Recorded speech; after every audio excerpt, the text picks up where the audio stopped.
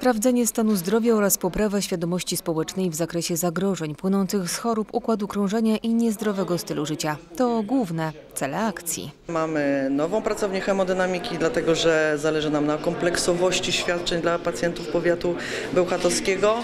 I to, to przede wszystkim przyświeca nam taka idea tych, tym dniom. E, Mam nadzieję, że tych dni będzie więcej. M, Myślę, że będziemy się starali, żeby one były chociaż raz w kwartale dla pacjentów, którzy będą chcieli się na takie konsultacje kardiologiczne zgłosić. Teraz ta akcja była organizowana w ten sposób. Promowaliśmy się na Dniach Bełchatowa, promowaliśmy się mm, na takim, e, na takim wydarzeniu e, społecznym w Emilinie. E, Pacjenci mieli rozdawane ulotki z numerami telefonu, zapisywali się na godziny i, i, i tak żeśmy w ten sposób to realizowali. E, To nam się chyba sprawdziło, bo nie chodzi nam o tłum pacjentów, którzy tutaj przyjdą, bo zapraszamy, tylko chodzi nam o usystematyzowany proces po prostu konsultacji i, i, i e, wstępnych badań e, pacjentów pod kątem kardiologicznym. No mamy też e, nawet zdarzenie, które, których pacjent w czasie tych konsultacji po, po, pojechał na SOR, więc jak widać, więc jak widać te, te dni mają, mają sens. No, głównym oczywiście motywatorem i, i takim kołem napędowym to jest oczywiście pan profesor Peruga, który jest kierownikiem naszej, naszej pracowni hemodynamiki. A ile osób się zapisało? Obecnie zapisało się około 40 osób. A kiedy kolejny dzień? No myślę, że już po wakacjach musimy na spokojnie rozważyć. To myślę, że wrzesień, e, być może październik, to też musimy to jakby z planami, proszę pamiętać, że zabiegi się odbywają planowo, systematycznie. Mamy też zabiegi w trybie ostrym, więc też nie możemy się tak, e, no pacjenci, którzy tutaj są, są najważniejsi. Natomiast akcje no, mogą, mogą, mogą być jakby zaplanowane w takim czasie, żeby to było możliwe do realizacji. Bełchatowianie, którzy wcześniej zapisali się na badania, mogli za darmo wykonać badanie ciśnienia tętniczego krwi czy EKG. Tego dnia na pacjentów czekali także kardiolodzy, którzy przeprowadzali konsultacje. Okazja e, ku temu jest, że zmieniła się dostępność usług kardiologicznych, tych wysokospecjalistycznych. Mamy pracownię, którą szpital zdecydował się otworzyć już w miejscu swojej lokalizacji, gdzie wykonujemy nowoczesne procedury z zakresu kardiologii inwazyjnej. Mamy również dostęp do nowoczesnych procedur elektrofizjologicznych.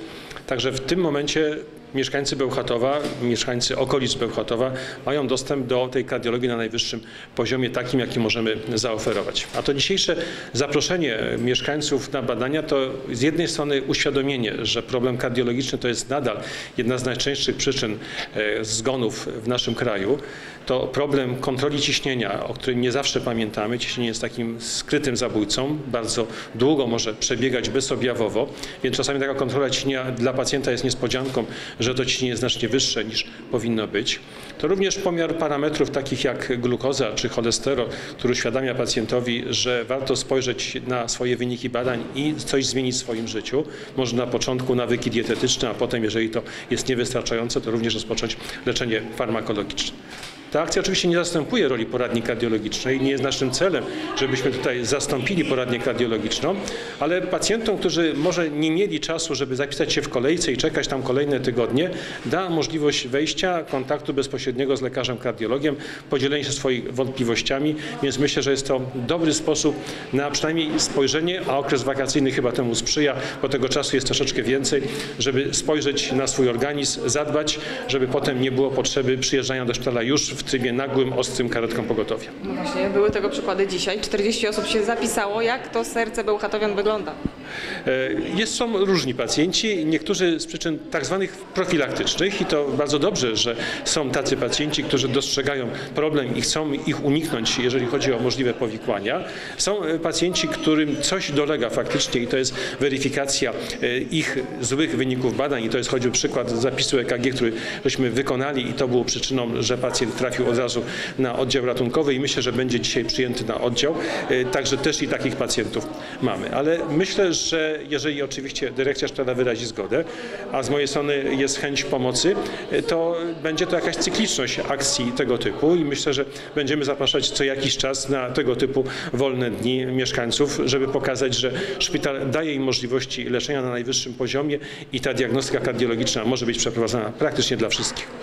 Profilaktyka jest ważna w leczeniu chorób kardiologicznych? Profilaktyka jest najważniejsza. Ja bym powiedział tak, że to lepiej, żebyśmy mieli pacjentów wcześniej leczonych, niż mamy ich potem poprawiać w trybie nagłym, ostrych zespołów wieńcowych, przy przebytych udarów, czy wszystkich powikłań sercowo-naczyniowych, które się mogą zdarzyć u pacjentów z nieregulowanym ciśnieniem, niewłaściwym poziomem cholesterolu, czy niewłaściwym poziomem glukozy. Także profilaktyka to jest podstawa. A na co zwracać uwagę? Co, jakie objawy mogą być niepokojące? Powi- Powinniśmy, kiedy powinniśmy się zaniepokoić? Na pewno takim bilansem powinien być bilans 40-latka, jak ja to mówię, czyli osoba, która kończy 40 lat powinna przejść przez bardziej już zaawansowane badania, powinna mieć wykonywane EKG, powinna mieć podstawowe wyniki pobrania krwi i oceny cholesterolu, glukozy, elektrolitów. W każdej sytuacji, kiedy nasza wydolność się pogorszyła, kiedy widzimy, że tych sił jest mniej, że wcześniej, jeszcze rok czy dwa mieliśmy zupełnie dobry poziom aktywności, a teraz zaczynamy się męczyć, mamy krótki oddech, mamy brak powietrza, mamy bóle głowy, co może być pierwszym takim objawem nadciśnienia tętniczego, mamy nieprawidłowe na przykład nadmierne pragnienie, co może być pierwszym objawem nieraz cukrzycy i pacjenci go nie dostrzegają, myślą, że to jest normalna rzecz, że przyjmują więcej płynów, a to może być sygnał, że nasz poziom glikemii w organizmie jest nieprawidłowy. Czyli pewne spojrzenie na siebie od wewnątrz, jak nasz organizm sygnalizuje pewne objawy, powinno być tą przyczyną, że warto te spostrzeżenia zweryfikować przy rozmowie z lekarzem. Jest lekarz pierwszego kontaktu, który powinien być tym pierwszym, jak gdyby można być punktem, gdzie nasze zdrowotne problemy rozwiązujemy, a poradnia kardiologiczna czy tego typu właśnie akcja to jest ten drugi etap naszego działania i pomocy pacjentom. Świadomość zagrożeń, jakie wynikają z chorób kardiologicznych rośnie, ale wciąż nie jest wystarczająca. Jak informują lekarze, szczególnie po 40 roku życia, kiedy ryzyko układu krążenia znacząco wzrasta, warto się badać. Trzy nieinwazyjne badania kardiologiczne, które można wykonać to EKG, echo serca i próba wysiłkowa.